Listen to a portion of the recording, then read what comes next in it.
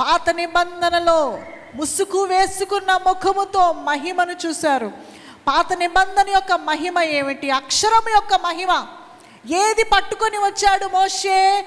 ధర్మశాస్త్రమును పట్టుకొని వచ్చాడు. హలెలూయా ధర్మశాస్త్రం ఏమని చెప్తుంది?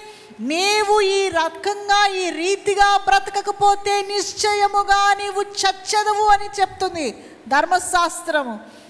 అది పాత నిబంధన యొక్క మహిమ.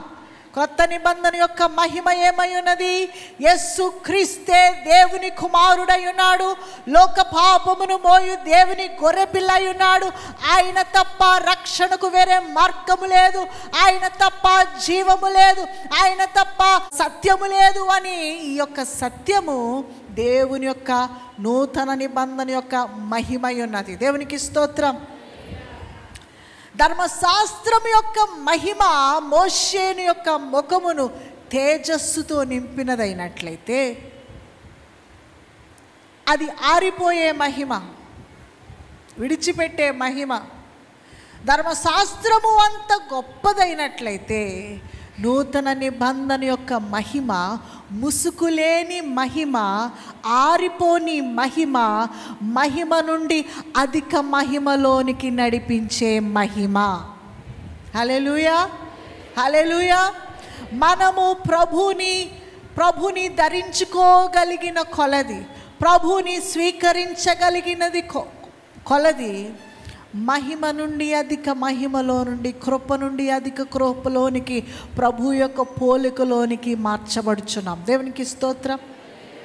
అలెలుయ ముసుగులేని ముఖము తెరలేదు ఇంకా దేవునికి మనకి తెరలేదు అడ్డుగోడ లేదు ఆయన దగ్గరకు వెళ్ళాలంటే తలుపు కొట్టడం లేదు. ఆయన దగ్గరకు వెళ్ళాలంటే ఒక యాచకుడు లేడు. ఆ యేసు ప్రభువే మన యాచకుడు దేవునికి స్తోత్రం. హల్లెలూయ. ఆయన దగ్గరకు వెళ్ళాలంటే భయము లేదు. హలెలుయా హలెలుయా ఇది నా మాటలు కాదు. ఏప్రిల్కి రాసిన పత్రికలో ఉన్నది. ధైర్యముగా రండి. హలెలుయా హలెలుయా భయపడుతూ అవసరం లేదు. దేవుని యొద్దకు ధైర్యముగా రండి అంటున్నాడు ముసుకులేని ముఖముతో ప్రభు యొక్క మహిమ. దేవునికి స్తోత్రం. ముసుగులేని ముఖముతో ప్రభు యొక్క మహిమ ఏమిటి? సువార్తే దేవుని యొక్క మహిమ ఉన్నది. దేవునికి స్తోత్రం. హల్లెలూయ. ఏమిటి దేవుని యొక్క మహిమ? మట్టి ఘటములు పాపము చేత నిస్సహాయ స్థితిలో తము తాము రక్షించుకోలేని మానవుల కొరకు దేవుడు తన గొప్ప ప్రేమలో సింహాసనమును విడిచిపెట్టి మన యొక్క మురికి వ్యసనాలలో అసహ్య అసహ్యతలో మనం ఇంకను పాపులమై ఉండగా.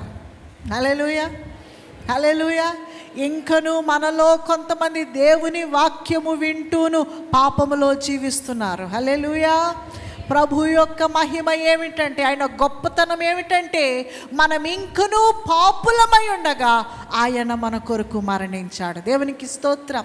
హలెలూయ మనం ఇంకనూ రోతైన జీవితమును జీవించుచుండగా ఆయన కృప చూపించుచున్నాడు. దేవునికి స్తోత్రం. హలెలూయ పరిశుద్ధుడైన దేవుడు పాపుల కొరకు మరణించటమే ప్రభు యొక్క మహిమ. దేవునికి స్తోత్రం. హలెలూయ తిరుగుబాటుదారులైన మనుష్యులను దేవునికి విరోధముగా ప్రవర్తిస్తున్న మూర్ఖపు జనాంగమును కృపచేత చేర్చుకొని రక్షించి పోగొట్టుకున్న దేవ దేవుని యొక్క స్వరూపమును తిరిగి వారికి అనుగ్రహించుటయే ప్రభు యొక్క మహిమ. దేవునికి స్తోత్రం. ఏమిటి మహిమ? ఏమిటి ప్రభు యొక్క మహిమ అనగా వాట్ డస్ పాల్ మీన్ ఏమంటున్నాడు పాలు దేవుని యొక్క మహిమ మనలకి అనుగ్రహించడం అంటే ఏమిటి? చూడండి. ఏదేను మనములో ఆదాము అవ్వలను దేవుడు ఎలా తయారు చేశాడు? దేవుని యొక్క పోలికలో ఆయన స్వరూపమందు. Amen amen. దేవుని యొక్క పోలికలో ఆయన స్వరూపమందు తయారు చేశాడు. మనలను దేవుడు ప్రాణాత్మ దేహములుగా చేశాడు. హలెలూయా హలెలూయా ప్రాథమికంగా మనము ఆత్మై ఉన్నాము. ఈ ఆత్మను దేవుడు శరీరంలో పెట్టాడు. ఈ ఆత్మకు దేవుడు ప్రాణమునిచ్చాడు. ప్రాణమనగా మనస్సాక్షి అని కూడా మనం అర్థం చేసుకోవచ్చు. మనం ప్రాథమికంగా ఆత్మయి ఉన్నాము. ఇది పరిపూర్ణంగా అర్థం కావాలంటే కొంచెం అర్థం కావాలంటే మరణించిన వాళ్ళు శవాల దగ్గర కూర్చుంటే అక్కడ ఏమున్నాయి? శవాలు ఉన్నాయి మనిషి ఉన్నాడా ఏమైపోయాడు? వేర్ ఇస్ హీ గాన్ దేవుని వాక్యం చెప్తుంది ఎక్కడి నుండి వచ్చాడో అక్కడికి వెళ్ళిపోయాడు. Spirit has left his body తన ఆత్మ శరీరాన్ని విడిచి వెళ్ళిపోయింది. కాబట్టి ప్రాథమికంగా ఆత్మ శరీరంలో ఉన్నంత వరకే మనం బ్రతుకుంటాం. శరీరము మట్టిలోనికి వెళ్ళిపోతుంది. దేవుని వాక్యం తెలియజేస్తుంది మరలా మహిమ దేహాలు దేవుడు మనకి ఇస్తాడని దేవునికి స్తోత్రం. చచ్చిపోని దేహాలు కుళ్ళిపోని దేహాలు అనారోగ్య పాలు కాని దేహాలు. గ్లోరీ హలెలుయ హలెలుయ అప్పటి వరకు వెయిట్ చేయవలసింది కొంతకాలం. ఆమెన్ హలెలుయా దేవుడు మనలను తన స్వరూపమందు తయారు చేశాడు. దేవుడు ఏమై ఉన్నాడు? ఆత్మై ఉన్నాడు. దేవునికి స్తోత్రం. ఆయనను ఆరాధించువారు. దేవునికి స్తోత్రం. దేవుడు ఆత్మై ఉన్నాడు. దేవుడు మనలను తన స్వరూపమందు తన పోలిక చొప్పున మనలను ఆయన కలుగ చేశాడు సృష్టించాడు. దేవుడు మనను సృష్టించాడు. అందముగా సృష్టించాడు. తన పోలికలో మనను సృష్టించాడు. కానీ దేవుని వాక్యం తెలియచేస్తుంది. అందరూ పాపము చేసి దేవుడు అనుగ్రహించిన మహిమను పొందలేకపోయి. ఏం పోగొట్టుకున్నాం మనము? పాపము వలన మహిమను కోల్పోయాం. దేవునికి విరోధముగా చేసిన పాపము వలన ఏమైపోయింది? ఆత్మ చనిపోయింది. చచ్చిన ఆత్మ కలిగిన వారమై ఎప్పుడైతే మనుష్యుడు పాపములో పడ్డాడో పాపం యొక్క జీతము తన మీద మోపబడిందో చచ్చిన వాడై ఉన్నాడు. యస్సు ప్రభు అంటున్నాడు నీవి తిరిగి జన్మిస్తేనే కానీ పరలోక రాజ్యములో ప్రవేశించలేవు. తిరిగి జన్మించాలంటున్నాడు. మరలా తల్లి గర్భంలోనికి వెళ్ళమంటావా ప్రభు? అంటున్నాడు నికోదేమి.